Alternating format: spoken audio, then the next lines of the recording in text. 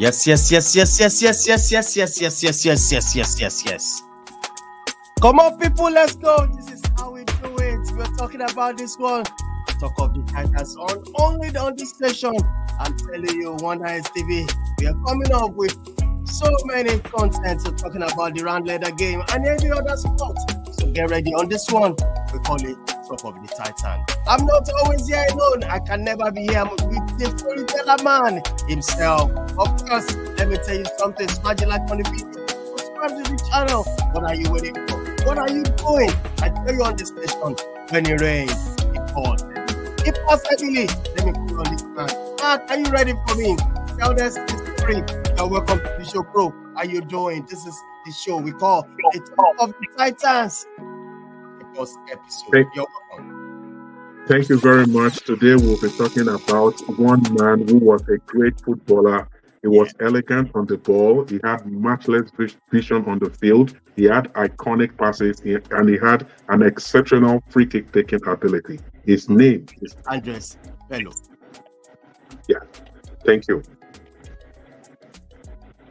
Andrea Pirlo was born in Flero, Brescia, Italy on May 19, 1979. He started his playing career at the local youth team at the age of 13 as a forward. Three years later, he made his senior debut with Brescia, and from that point forward, he never looked back. His performances caught the eye of Inter Milan, who signed him in the summer of 1998.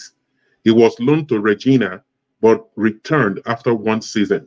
He struggled to break into the first team, so he returned to Brescia on loan, where he played with the legendary Roberto Baggio.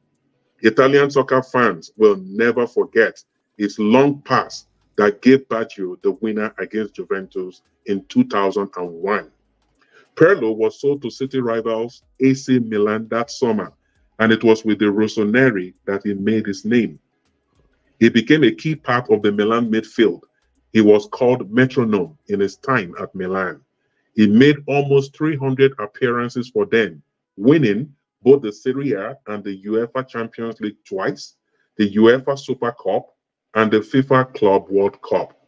He also won the World Cup with the Italian national team in 2006 in a memorable final match against France.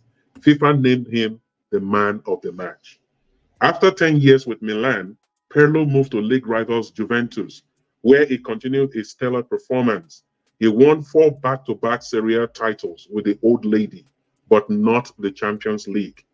After four seasons, he moved to the MLS, where he ended his playing career with New York City FC after three seasons. Pirlo moved into coaching afterwards, and he has managed his, in Italy and Turkey. Presently, he is the coach of Serie B club Sampdoria. Pirlo was married for 12 years but is separated. He has two children from the marriage. However, he has a partner who bore him twin boys in 2017. Besides management, he has a stake in his father's steel company and he also runs his own wine company. A memorable quote of Pirlo is I don't feel pressure. I don't give a toss about it. I spent the afternoon of Sunday, 9 July 2006 in Berlin, sleeping and playing the PlayStation.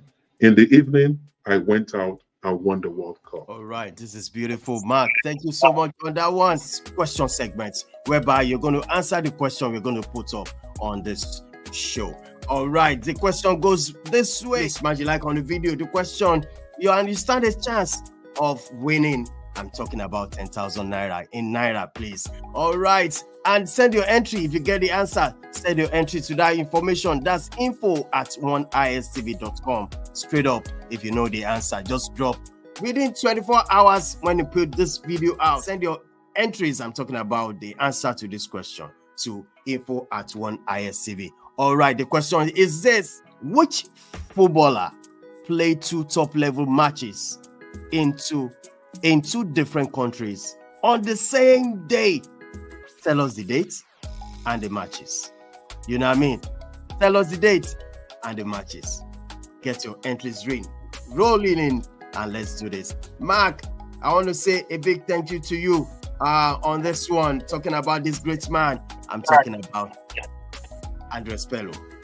Thank you very much. And next time we'll bring you another edition where we'll talk about yet another great Titan. Until then, it's goodbye. All right, all right, all right, all right. This is how far we can go tonight. I want to say big thank you to everybody that's helped us on this information. On the same time, bye for now. Be safe out there.